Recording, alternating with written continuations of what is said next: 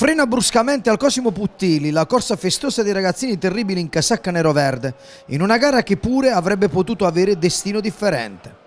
Mister Valeriano Roseto recupera i fidati Tigrotti e propone Petrarca a guardia della porta, cintura difensiva con Gomes, Silletti e Tangorre, nel cuore della pugna Clemente con Mariani e Cardore a far legna, Pendolini, Riefolo e lo stesso Chiaradia. Davanti il duo Fosforo e Scintille, Maffei e Figliolia.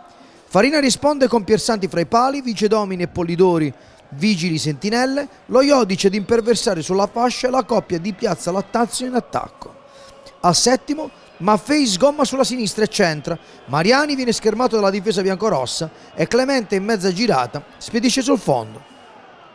Al diciassettesimo artiglio vincente di Lattanzio sul cuoio smarrito da tutti in area ed è vantaggio Barletta. È il ventesimo quando Figliolia imbecca Maffei che vede Clemente. Piersanti ne doma agevolmente il destro.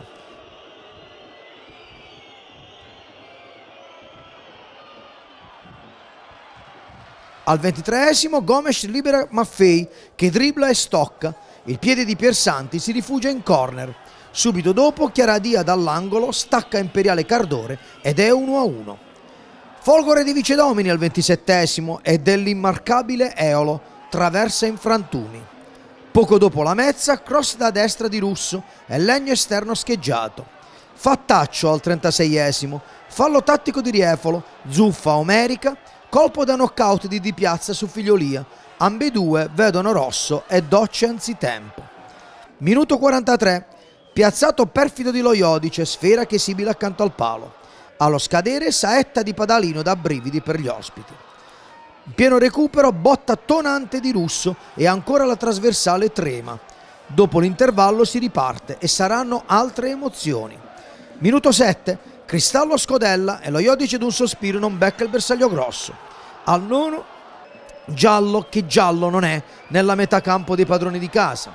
Espulso Vicedomini, ultimo uomo su Chiaradia in velocità, steso nettamente nei 16 metri. Con i bulbi oculari foderati di pata negra, il signor Monesi di Crotone sanziona una inventatissima punizione dal limite. Sul pallone va l'esterno gravinese che si aggiunge con classe al club dei cecchini delle traverse. A ridosso del quarto d'ora, uscita kamikaze di Petrarca sul russo. Poco dopo la mezz'ora, prima volè dell'indemoniato Sette Barlettano e prodigio di Petrarca. Subito dopo, però, calcio dalla bandierina e festival delle rovesciate sotto la porta bitontina. Prima ci prova Cristallo, rimedia Chiaradia, poi sforbicia Polidori e insacca. È 2 a 1 per i barlettani. I leoncelli dunque si leccano le ferite di una serata iniqua in attesa di un altro improbo cimento col Fasano.